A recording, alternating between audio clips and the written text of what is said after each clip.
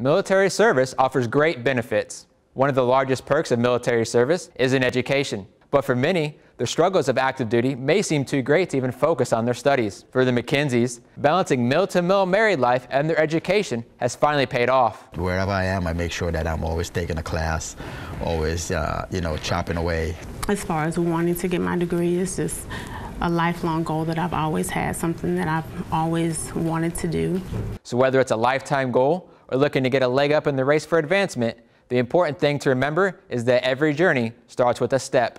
Take advantage of every opportunity and you know do a little bit at a time because eventually you will be able to accomplish your goal if you just start. I feel that I'm better uh, equipped to go out there in the, uh, in the civilian world once I, I hang up this uniform. For more information about earning an education, visit the Navy College website.